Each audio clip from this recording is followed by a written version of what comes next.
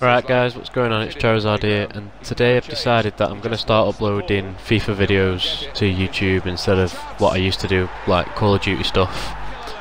Uh, today's video is going to be a review on the Inform Ben which I believe was in last week's Inform. Um, in this video, it's just you're just going to see his goals and some of the runs he makes, but I'm just going to tell you how good he really is.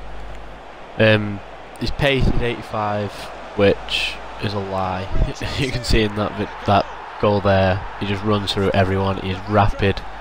He does with a hunter card. I use him with a hunter card, and he just does feel like Aubameyang. I have had Aubameyang before, and as you can see in that bit there, he does get a hat trick in this game, and I believe he gets one more straight away. Um, his shot is 87. It, it just is. It's so good, especially with a hunter card. He scores I'd say 87, 87, 80% of the goal shots he takes.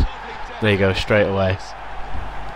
His passing's 81, and I use him with Lacazette, and he does get quite a few Lacazettes. He does have, out of 76 games, he does have 21 assists and 85 goals.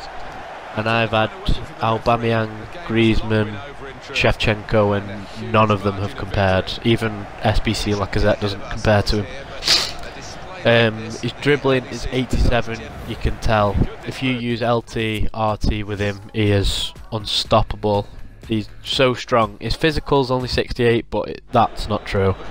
He's so strong off the ball, and here's that attacking positioning again. Just holds his run perfectly, and his agility to get straight back up and get the goal. He, if you get, he's cheap, he's rapid, he's great finisher.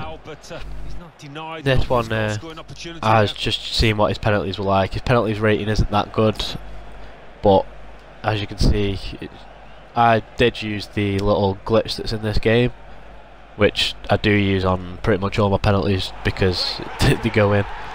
So why not? It, it does help with FUT Champs as well.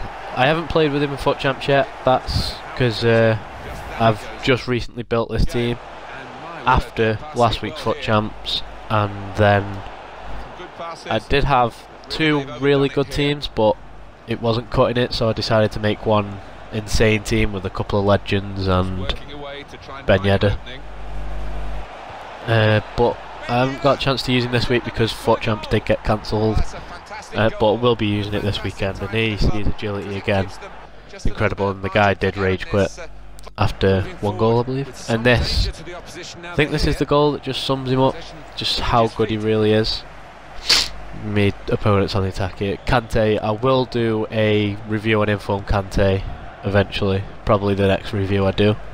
He's incredible. Here you go, Ben Yedder, pace, agility, right foot, goal. But and oh, I forgot to mention his five-star weak foot. Any anywhere with finesse, power, from about 30 yards inwards, it's gonna go in especially if you're shooting across goalies. That pace and the uh, that wasn't yeah pace and the strength from him again.